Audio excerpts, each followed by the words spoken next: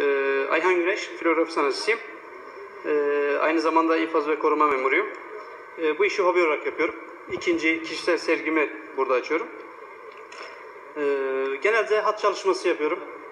İşte Türk bayrağı e, şeklinde veya hat şeklinde. Ee, orada da Cumhurbaşkanı imzası var, onu yapmıştım. Besmele şeklinde yapmıştım. Ee, yani memurluğum dışında bu işi de yapmaya çalışıyorum. Burada 34 eserim var şu anda.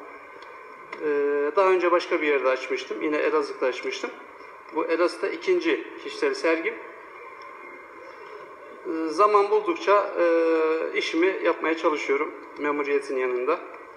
El becerim vardı tabii. İstanbul'da da bulunan hocalarım, e, bu işi yapan hocaları buldum. E, İstanbul'da yapıyordum daha önce. O hocalar aracılığıyla işimi geliştirdim. Şu anda hobi olarak yapıyorum.